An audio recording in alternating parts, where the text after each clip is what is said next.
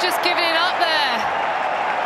And uh, that is a soft, soft dismissal from an Indian point of view. Australia elated. They were going so well out in the middle. And a huge mistake costs. We were just talking about how well they were running between the wickets.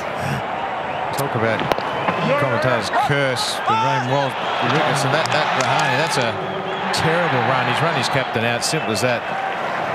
That's just absolutely just done like a dinner. What do you think, Scully? Oh, turn me over on the barbecue. Oh, yeah, yeah.